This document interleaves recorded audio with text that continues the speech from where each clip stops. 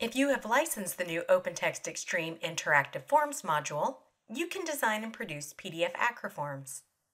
You can add several types of interactive controls in Designer. Checkboxes let your customers make selections, such as the type of account or claim.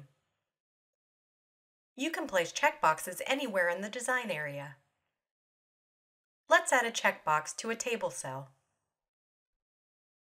Place the cursor in the table cell and click this button to embed a checkbox. Click the Properties button and then the Interactive tab. Add a unique field name and a tooltip. The first line you type here will be used for the tooltip. You use a variable to determine whether a checkbox will be selected in the output.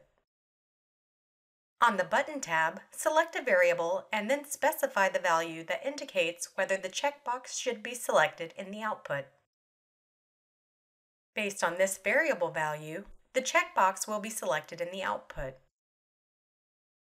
Now we can add a label for the checkbox to the table. For this example, we're going to add four more the same way. In the output, you can select or clear the checkbox. Notice that each of the checkboxes on this form can be selected or cleared independently. For more information about designing and producing PDF acroforms, check out the product documentation or the other videos in this series. Thank you for watching.